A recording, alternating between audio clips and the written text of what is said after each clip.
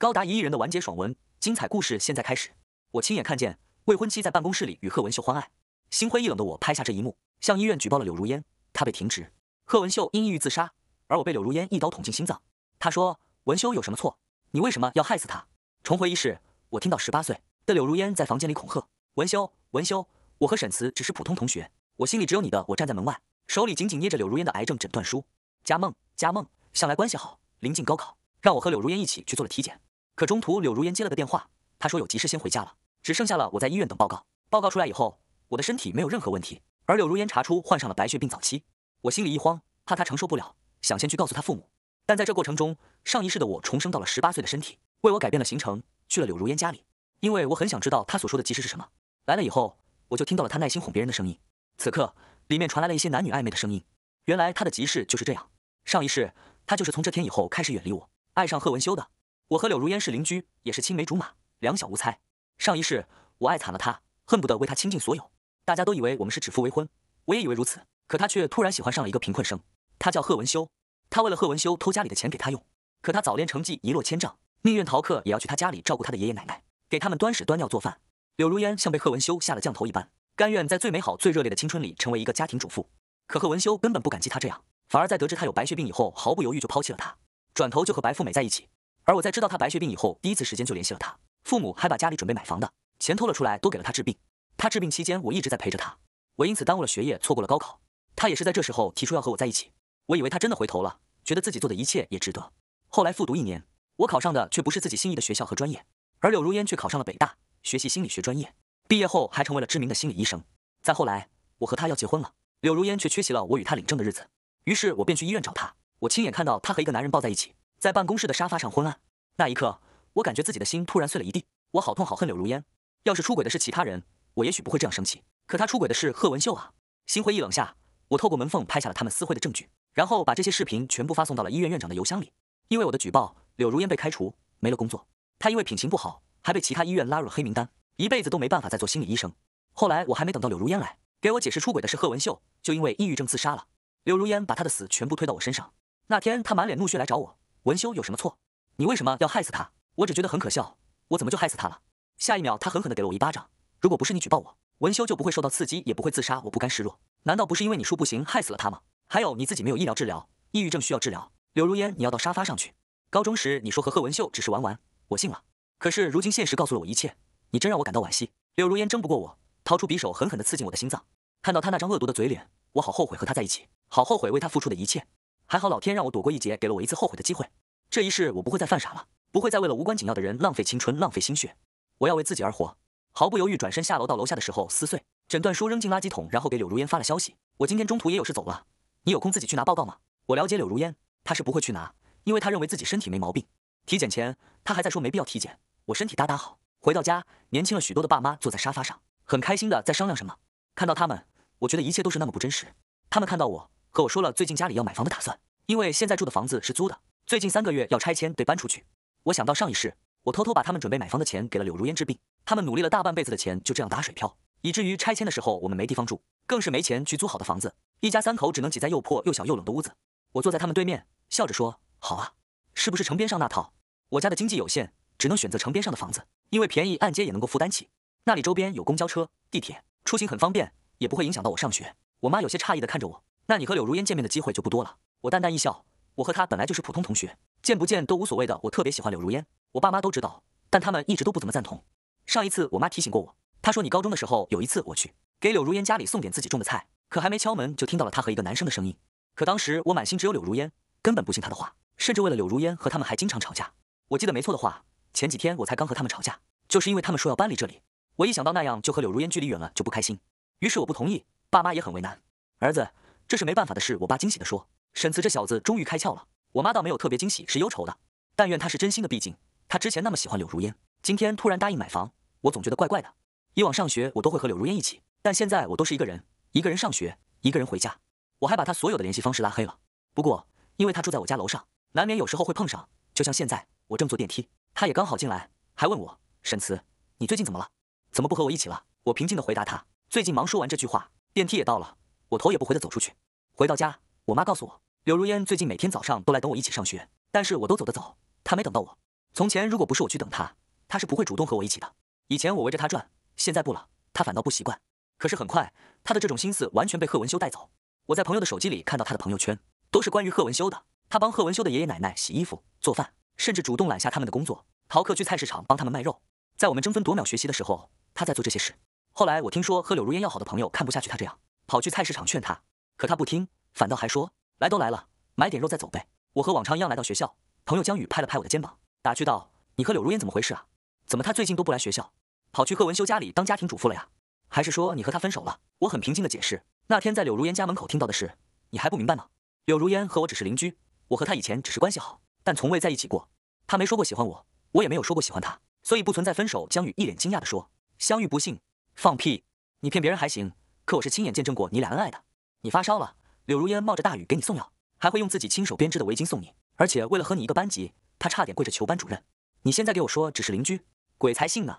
我听着江宇这些话，突然想到上辈子的那句告白，是我在柳如烟病床边得到的。小姨纠正道：“你们这不是关系好，而是暧昧，还差句告白而已。”我听着江宇这些话，突然想到上辈子的那句告白，是我在柳如烟病床边得到的。那段时间我为了她。家里医院两头跑，根本休息不好。柳如烟见我这样，心疼的抚摸我的脸，说：“沈慈，其实我是真的喜欢你。”我激动的不行，认为自己得到了全世界。可现在才明白，那时候我以为的喜欢，只不过是柳如烟对我的愧疚。后来他认为对我的愧疚，就又和贺文修厮混在一起，甚至为了他毫不犹豫把我捅死。相遇一个柳如烟而已，有高考重要，已经走过一遍的烂路，我才不会重蹈覆辙。这一世我只有两个目标：远离柳如烟，成就自己。晚上我还在和爸妈吃饭，突然就听到楼上传来摔碎东西的声音，还有吵架的声音。我妈一边夹菜一边说：“到处都传开了，柳如烟为了一个穷小子逃课，帮他照顾爷爷奶奶，还在菜市场卖肉，被他妈妈撞见了，当场打了他，拖着他回家，他还不回去，说就要在那里。真不知道这孩子怎么了。”我妈说完这话的时候，和我爸都在悄悄观察我的身姿。我淡淡出声：“也许他太爱那个人了吧，不然为什么上一世为了贺文秀，宁愿把我杀了？反正和我没关系，我心里只有高考。”此话一出，突然传来敲门声。我妈刚打开门，就看到是孟阿姨拖着柳如烟。柳如烟被打得脸都肿了，头发凌乱，我妈当场就愣住了。又不好不让人家进来，于是就有了接下来的一幕。柳如烟低着头站在客厅里，孟阿姨坐在沙发上和我妈说：“柳如烟从小就和你家沈慈关系好，我也只认定沈慈当我女婿。这次柳如烟完全是被那个卖肉的穷小子给迷惑。我今天来就是想让他给沈慈道个歉。”说着，他呵斥柳如烟过来给我道歉。我妈急忙阻拦：“哎，你这是气糊涂了吧？柳如烟和谁交往和沈慈有什么关系？而且柳如烟有自己的自由，她想和谁在一起都可以，怎么就扯上沈慈了？”我爸也跟着说：“对啊，沈慈最近都忙着学习，好久都没和柳如烟一起了。”柳如烟愤愤道。妈，我和沈慈本来就没什么关系，我只喜欢贺文修。我妈又接着说：“孟妈妈，你听到了吗？”孟阿姨气得脸都绿了，说不出一句话，只好带着柳如烟离开。她离开后，我妈和我爸吐槽：“孟阿姨真的是无理取闹，仗着几块八的邻居关系就胡言乱语，非要把我和柳如烟绑在一起。”她说：“这个家得几块八，我也这样认为。”我爸妈买的是精装房，可以直接拎包入住。搬家这天，老天仿佛都在为我们庆祝一般，送给了我们一个艳阳高照的日子。我和我爸妈一直在往卡车上搬东西，我发现孟阿姨躲在楼上窗户那偷偷观察我们。我想是因为那天的事，她不好意思下来。可柳如烟出现了，脸上还带着些被打的伤痕，他眼底都是诧异，走过来问沈慈：“你们家这么早就搬走吗？”我笑着回答：“对啊，省得你妈又来找我们麻烦。”他脸上有些窘迫，急忙解释道：“对不起，其实是我妈。”她话都没说完，可柳如烟还没说完，我就打断了她：“柳如烟，你不用解释，我记得那天你说了和我没什么关系，所以不用解释的。”柳如烟脸色很难看，半天吐不出一句话。我正想和她终止这没有任何意义的对话，却在她身后看到了一个熟悉的身影，是贺文修。他穿着洗得发白的外套，躲在巷子后观察我和柳如烟。于是我故意和柳如烟站得近一些，让外人看来我和她很亲密一般。柳如烟继续说着：“沈慈，我才发现你把我微信和电话拉黑了，你是在生我气吗？其实我们还能做朋友的，毕竟以后在学校抬头不见低头见的。”我觉得他的话可笑至极，冷哼一声回答：“柳如烟，你把自己看得太重要了，不会因为一个不熟的人生气的。别说是朋友，我连同学都不想和你做。等以后考上大学，大家都散了，也就不用联系了。”我的话很绝情，柳如烟的脸色一点一点沉了下去。上一世我总是跟在他身后给他做媒，可现在我非常清醒，柳如烟就是个贱人罢了，不值得我喜欢。行李已经全部装好，我和爸妈刚准备离开，突然贺文秀冲出来抱住了柳如烟，他眼睛红红的对柳如烟说：“你别离开我好不好？我真的爱你。这可是大白天，而且还是在早上，楼下路过的都是熟人。”我抬头一看，孟阿姨的脸都绿了。没一会，她就冲了下来，像个疯婆子般狠狠扯开拥抱着的二人，然后把贺文修推倒在地上，还一边大声怒骂：“你这个穷玩意，离我女儿远点！”柳如烟平时最爱面子的，面对这样的事，此刻脸上都是羞愧。发现我在看他，他脸色更难看了，捂着脸就跑了，只剩下了坐在地上无助的贺文修，以及面色气得涨红了孟阿姨。周围的人都在看好戏，我妈一边摇头一边说：“诺妈妈平时那么温柔知性，因为柳如烟却成了个泼妇。”我爸也是看热闹不嫌事大，这次脸丢大了。我被逗笑了。虽然这时候嘲笑别人有些不好，但回想到上辈子，我只觉得柳如烟是活该，这是她的报应。搬新家以后，一切仿佛都好起来。模拟考试我取得了好成绩，爸妈都很开心，说我一定能考上心仪的大学。他们这样一说，让我整个人都郑重起来。对于别人而言，高考是改变自己命运的时刻，可在上辈子，那就是我的噩梦。当时我紧张的满头都是汗水，明明之前复习过的知识，那一刻却怎么也想不起来。我只能拼命去想，写了一次又一次，然后又用笔画了一次又一次。后来我与心仪的大学失之交臂，只上了一所很普通的大学。上一世是我自己毁了自己的，所以现在的我更加珍惜每一分学习的时间。所以我对爸妈提出帮我请个家教吧，在最后的时间里，我一定要让自己有十足的底气去参加高考。爸妈非常支持我，他们找熟人介绍了一个名校的大学生，他叫简婷，是当年的理科状元。理科状元就是不一样，能把纸上枯燥乏味的题讲得那么有意思，让人爱上做题。放完假我回到学校，发现校园表白墙上有人匿名投稿了一段视频，视频内容是上次我搬家时贺文修被柳如烟妈妈推在地上，而柳如烟却跑了。下面的评论炸了，我真的大开眼界。柳如烟不是很喜欢贺文修吗？怎么还抛弃他了？一楼的话我不赞同。柳如烟明明和沈慈才是一对，谁不知道他们是青梅竹马？之前还每天一起上学放学。看视频，柳如烟好像确实不怎么管贺文修的死活。盲猜这视频是沈慈拍的。我和他一个小区，那天他加班，我看到他也在场呢。该不会是故意发的，想把柳如烟抢回来吧？我皱了眉，怎么就放个假的时间又扯我头上？真是一波未平，一波又起。上课的时候，班主任严厉批评了校园墙上的事例。现在是最重要的阶段，你们给我把心思放在学习上，不要给我搞什么狗血三角恋。这话明里暗里都是在说我。于是我立马举手，老师，我想换个位置。班主任被打断，有些烦躁，看了看我后桌的柳如烟，最后还是给我换了一个距离柳如烟很远的位置。下课后，班主任找到了我，问我那个视频是不是我拍的。我直接否认，并且立马联系我爸，让他去找物业调当天的监控。下午，我爸带着监控视频风风火火赶来，他一把将手机放桌子上，里面的内容正是我们搬家那天的视频。当时贺文修被推在地上，旁边围了很多人，而我站在人群外，只是看了一眼就和爸妈离开了，根本没有拍过视频。我爸愤愤道：“老师，我对天发誓，我儿子和柳如烟只是邻居关系，而且现在我们都搬家了，我儿子整天在跟着家教老师学习，根本没有空去拍这些证据，已经摆在眼前。”班主任也是面露愧色给我道歉，然后回去澄清这件事。校园墙上的视频很快被删除了，学校查到这视频竟是贺文修自己找人拍的，只是为了在大家面前求同情，让舆论引到我身上，因为他知道柳如烟和我是青梅竹马，他嫉妒。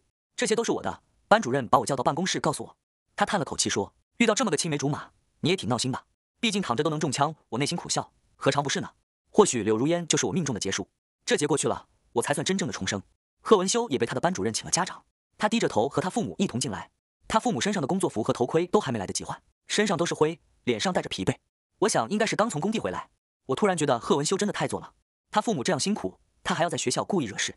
贺文修的班主任给他父母说了事情的来龙去脉。并且表示，这次因为发在了校园墙上，很多同学都看见了，非常影响学习，让他们一定要和贺文修好好沟通。贺文柱爸爸听到这些，气得当场给了贺文修一巴掌。我们在外那么辛苦，你就不能听话一点，搞什么早恋？贺文修不服气，也打了回去。两父子很快扭打在一起，办公室的老师都在拉他们。这时，柳如烟突然闯了进来，一边哭一边扯开他们，别打文修。下一秒，他就被误伤了，不知道是贺文修还是他爸的拳头砸在他的脸上，他当场就流出了鼻血，而且还是血流不止。所有人都吓坏了。急忙送他去医院，而我全程都没动一下，因为我知道他为什么流鼻血。第二天，江宇就带着八卦消息来，他说柳如烟检查出白血病，他父母不相信这个事实，哭得死去活来，转眼就把贺文修一家告上了，说他们故意伤人。这事都传开了，大家都说柳如烟和贺文修是一对。不过前段时间不是还在传你要抢回柳如烟吗？我低头看书，没好气道：“你是小子，专心读书吧，怎么和女生一样这样八卦？做尽坏事的人，老天爷自然会惩罚他们，根本不用我动手。”柳如烟因为生病没办法来。学校上课也没办法参加高考，同学们觉得她可怜，去探望过她几次，但我没去。我只听说她在医院状态还挺好的，因为还在初期，没做化疗，她就每天躺在床上玩玩手机，等着孟阿姨喂她吃饭。而贺文修也为了她和自己家里闹掰了，每天旷课去照顾她。柳如烟还对同学们炫耀，文修是这世上最爱我的男人，能遇上这样好的男人是我的福气。大家会觉得他有福气，可只有我知道贺文修最后会抛弃他，不知道那时候他会是什么样的心情。同学们回来还问我，沈慈，你真的不去看看柳如烟吗？你们以前关系那么好，我低着头看书，连眼皮都没抬一下，淡淡的道：“忙着练题呢，没空去。而且我和他没有什么关系，对此他们也不能说什么。高考将近，每天都有试卷练习，放学回家还要忙着复习，他们也是如此。不过放学的时候，我还是听到了有人在嚼舌根子，几个同学围在一起说我太冷血了。柳如烟生病都不去看，他们只知道我和柳如烟青梅竹马，和我暧昧了很多年，所以他出事我就必须要去。可他们没见过柳如烟出轨的模样，也没见过柳如烟亲手捅我的模样。我刚想走过去，江宇跑过去大声道。”柳如烟不是遇到好男人了吗？她有好男人就够了，和沈慈还有什么关系？此刻我觉得江宇就是我的嘴，干得漂亮。贺文修因为经常旷课被学校通报了，如果再犯，即将面临开除。贺文修站在台上，一脸可怜巴巴的模样。老师，我女朋友生病了，我没办法。此话一出，全场一片哗然。有人说他真是个好男人，为了柳如烟甘愿付出一切；也有人说他这样是在带坏其他同学。毕竟都是高中生，最重要的是学习。校长气得不行，你心思根本就没在学习上，我看还不如退学算了。贺文修也不甘示弱，不服气道：“退学就退学，谁稀罕啊？”我在台下笑出了声。不知道在几年后，大家都功成名就，有了自己的车子、房子和一定的积蓄的时候，贺文修会不会很后悔说出这句话？但此刻的贺文修是不会后悔的。就像校长说的，他的心思根本没在学习上。第二天，学校发出了他被开除的通知。下一秒，江宇拿着手机到我面前：“快看看柳如烟发的朋友圈。”我倒看了一眼，他发了一张图片。图片里是他在病床上和贺文修的手十指紧扣，配文：我这辈子都不会松开你。江宇现在已经不占我和柳如烟的 CP 了，变成了柳如烟和贺文修的黑粉。他愤愤道：真恶心！我一言未发，只是低头继续写作业。我以为就这样可以安稳的等到高考，但这天下午放学，孟阿姨突然找到了我。她在公交车站找到了我，一把拉住我的手，卑微的祈求着：沈慈，就当阿姨求你了，你去看看柳如烟吧。她的病情加重，最后的愿望就是想见我一面。我觉得很奇怪，柳如烟不是那么爱贺文修吗？怎么又想见我？我把孟阿姨的手一点点推开，阿姨，我又不是医生，去了也不能治好她的癌症，你才是最需要去的人，你是她的亲生母亲啊。孟阿姨对我点点头，你说的对，一时半会说不出口。孟阿姨又拉着我的手，沈慈，你还有没有信柳如烟？好歹也和你相识一场。说着，她又跪在地上哭了出来。你今天不去，我就一直跪在这里，看着她这耍赖的模样，我只觉得头疼。没办法，只好跟着她去。我心里想着，看一眼就行了，看了就走。为了以防万一，我还把江宇喊上。柳如烟的病情确实加重，她头发没了，戴着厚厚的毛线帽。脸颊也凹陷了进去，此刻闭着眼睛，就像个僵尸一般，空气中还弥漫着突兀的味道。江宇看了这一幕，就像看了鬼一样，他捂着嘴转身就跑了出去，而我就站在原地。柳如烟这副模样，上辈子我看过，那时候我多心疼她呀，每天给她端屎端尿，陪着她化疗，即使是她吐我身上，我也不嫌弃，还在心里祈祷她快点好起来。此刻柳如烟又吐了，孟阿姨哭着给她亲了一口。听到她这句话，我只想说，她上辈子确实罪孽深重。哭完以后，柳如烟才看到了我，她眼睛一下就红了。吃力的坐起来，然后努力的对着我笑。我走过去笑着说：“柳如烟，是孟阿姨找我来的，你一定要振作起来，到时候好参加高考，和我们一起并肩作战。”只有我知道这些话对柳如烟的打击有多大，因为我很了解她。以前她或许不会觉得高考的重要性，但人一旦病了，什么都做不了的时候，就会拼命的想和正常人一样。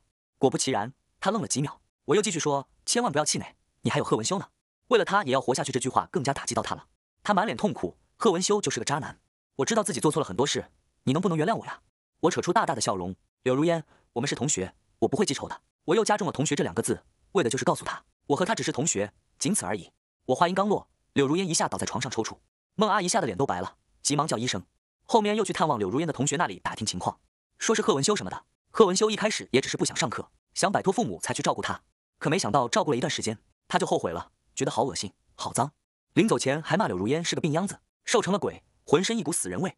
柳如烟气得大骂贺文修：“亏我对你那么好。”贺文修不要脸的说：“是谁规定你对我好，我就要对你好了？而且我已经仁至义尽，还免费照顾了你。你以为我会和沈慈一样那么傻，跟在你身后那么多年？”柳如烟当时就泣不成声，曾经大家认为的好男人形象就此崩塌。大家又开始帮柳如烟说话，说她真可怜。如果要是和我在一起，结局肯定不会是这样。我急忙说：“别扯上我。”江宇也帮我说话：“对啊，柳如烟都那副模样了，根本配不上沈慈，好吗？”同学们也不好多说什么。班主任进来，让不许再议论这件事，一旦发现会被处分。因为这段时间，因为这件事影响了太多同学。后来我听说贺文修找了个好工作，工资很高。就在我疑惑是什么工作的时候，江宇告诉我，贺文修和他一个有钱的表姐好上了，在做他的情人，真的好恶心。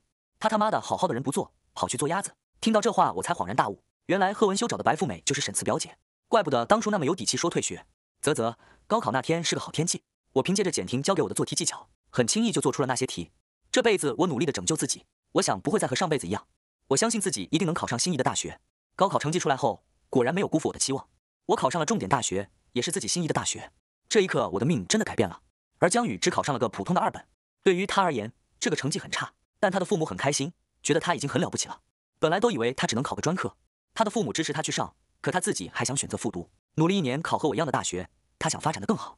他父母当然支持他。后来开学不久。我才从江宇那里听到柳如烟的消息，他已经康复回来复读了，但是成绩跟不上。这次模拟考在后两百名，我不怎么关心他的使用知识。哦了一声，江宇又接着问我：“你和简婷怎么样了？”我笑出了声，看着刚从学校出来的简婷，应该快了。哎呦喂，大姐姐和小奶狗的恋爱一定很不错。我和简婷读的大学是在一个城市，本来高考后我和她不会再有联系，但她在这期间一直找我约我出去玩。我不傻，知道她对我的心思，而我也在她给我辅导的那段时间对她产生了好感。她会关心我的情绪，会给我送自己手工礼，也会记得我的生日。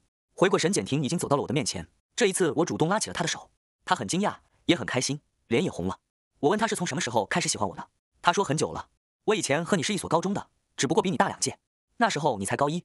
有一次学校开运动会，我看见你打篮球真的好帅，那一刻对你一见钟情。可我从同学口里得知你有喜欢的人，所以我一直把这份爱藏在心里，直到命运再次让我们相遇。我发现你没有和柳如烟一起玩了，所以就大胆了一次。我笑着揉揉她的头发，那看来是蓄谋已久呀。她也笑了。